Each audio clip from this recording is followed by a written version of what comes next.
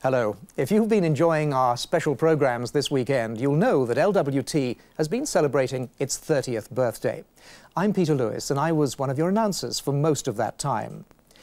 LWT has always had a reputation for producing very distinctive programs, a very particular style. But of course, the real proof of the pudding is how much you like what we do.